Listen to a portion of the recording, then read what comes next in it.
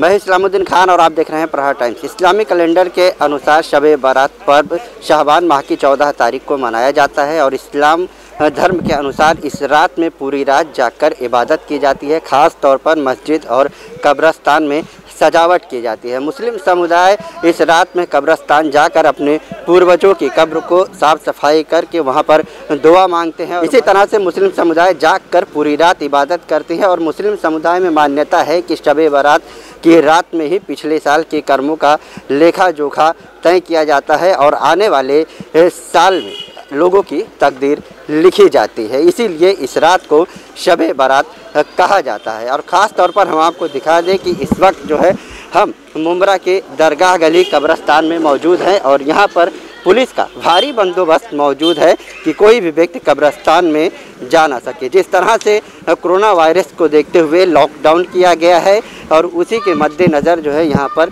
किसी को भी कब्रस्तान में और मस्जिद में जाने की अनुमति नहीं है और लोग भी इसका पालन करते हुए दिखाई दे रहे हैं। कहीं ना कहीं अगर हम बात करें तो आज के दिन यहाँ पर चलने की जगह नहीं होती थी, लेकिन आप देख सकते हैं यहाँ पर कि खाली है और पूरा जो है, पुलिस का भारी बंदोबस्त यहाँ पर लगा हुआ है। हमारे साथ यहाँ पर ट्रस्टी नईम खान मौजूद हैं। हम उनसे बात करते हैं। सर, जिस तरह से देखा जा रहा है लॉकडाउन है और कहीं ना कहीं जो है, लोगों का भी समर्थन मिल रहा है। लोग अपने घरों से ही इबादत कर रहे हैं।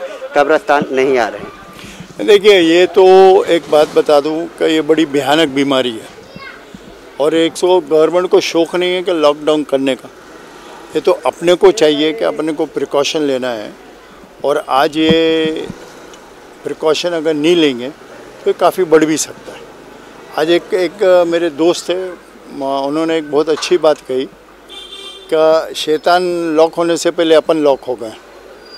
तो इसमें समझ जाएँ तो ज़्यादा बेहतर है कि लॉक का इसका पालन करें, सरकार का जो आदेश है उसको पालन करें। अपने घरों से फातिया तो अपन कहीं से भी पढ़ सकते हैं, घर से पढ़ सकते हैं, इबादत कर सकते हैं। ये सारी चीज़ें करेंगे तो बहुत अच्छी बात है। कहीं ना कहीं अगर मुस्लिम समुदाय को अगर कहा जाए कि आप मस्जिद में ना जाएँ दरगाह पर ना जाएँ या कब्रस्तान ना जाएँ तो कहीं ना कहीं लोगों में गुस्सा देखा जा रहा था। लेकिन ये कहीं ना कहीं जो कोरोना वायरस है, जिस तरह से लॉकडाउन किया गया है तो कहीं ना कहीं लोग भी समझदार हैं, समझदारी दिखा रहे हैं। जिस तरह से यहाँ पर खड़े होने की जगह नहीं होती थी, लेकिन लोग अपने घरों से इबादत कर रहे हैं।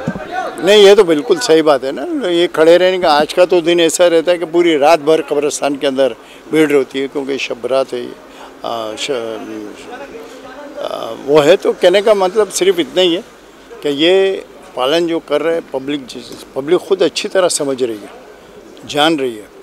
और ये एक बहुत अच्छी बात है संदेश है कि भाई ये इसके ऊपर ज़्यादा ध्यान करेंगे तो ज़्यादा बेहतर है। तो जिस तरह से आपने सुना कि जो नईम खान है, उनका भी कहना है कि कहीं ना कहीं जो है मुमरा में अब जनता जो है, समझदार है, समर्थन कर रही है। जिस वक्त हम यहाँ पर जहाँ खड़े हैं, आपको दिखा दें कि ये दरगाह गली रोड है और शब बारात के रात में यहाँ पर चलने की जगह नहीं होती थी। लेकिन लॉकडाउन की वजह से कहीं ना कहीं जो है मुस्लिम समुदाय भी अब अपने घरों में है, मस्जिदों में और कब्रस्तान में ना जाकर वो अपने घरों से ही इबादत कर रहे हैं। हालाँकि पुलिस का जो बंदोबस्त यहाँ पर कब्रस्तान की गेट पर लगा है और इसी तरह से हम दिखाएँगे आपको कि कब्रस्तान के अंदर भी पुलिस गश्त कर रही कि कोई भी व्यक्ति जो है कब्रस्तान की दीवार से अंदर ना दाखिल हो सके, इसलिए पुलिस एहतियात के तौर पर कब्रस्तान के अंदर भी मौजूद है। और इस समय मौजूद है हम कौसा के पुराना कब्रस्तान पर। आपको बता दें कि हालाँकि ये कब्रस्तान जो है आ, कुछ दिन पहले बंद कर दिया गया था लेकिन इसके बदले में एम एम वली स्थित पर जो है एक नया कब्रस्तान दिया गया था। और आज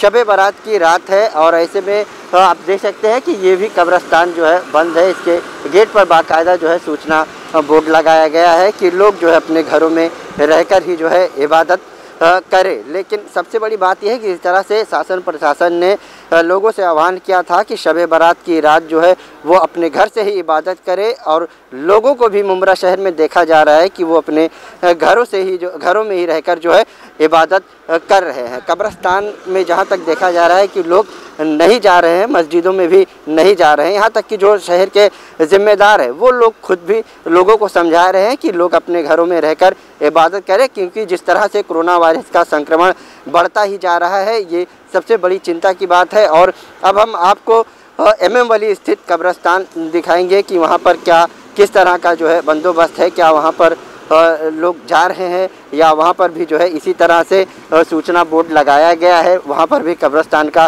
क्या गेट बंद है, हम आपको एम अली स्थित कब्रस्तान के बारे में भी दिखाते हैं। और अब मौजूद है हम एम वली स्थित नए कब्रस्तान में, जहाँ पर ये नया कब्रस्तान बनाया गया था। आपको दिखा दें कि ये नया कब्रस्तान भी आज जो है पूरी तरह से बंद है। यानी कि शब बारात की जो है पहली रात इस कब्रस्तान की है, लेकिन पूरी तरह से ये कब्रस्तान भी बंद है। यहाँ पर आपको दिखा दें कि पूरा रोड पे जो है सन्नाटा है। कोई भी व्यक्ति यहाँ पर मौजूद नहीं है। जिस तरह से लॉकडाउन का लॉकडाउन जिस तरह से लॉकडाउन है और जिस तरह से सरकार की तरफ़ से जो आदेश जारी किया गया है कि शब बारात के रात में जो है लोग कब्रस्तान ना जाए और जिस तरह से मस्जिद भी अब बंद कर दी गई है। लोगों को मस्जिद में भी जाने से मना किया गया है। कहीं ना कहीं लोग जो है सरकार की बातों पर अमल कर रहे हैं और उनके कहने के अनुसार नहीं।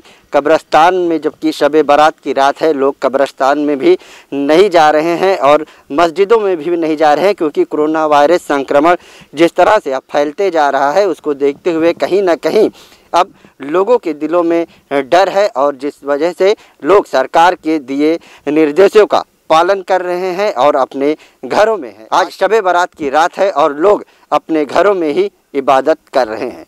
कैमरामैन सलमान के साथ इस्लामुद्दीन खान प्रहार टाइम्स मुमरा ताज़ा तरीन खबरों के लिए हमारे यूट्यूब चैनल को सब्सक्राइब करें और बेल आइकॉन दबाना ना भूलें। अगर आप फेसबुक पर देखते हैं तो हमारे पेज को लाइक करें।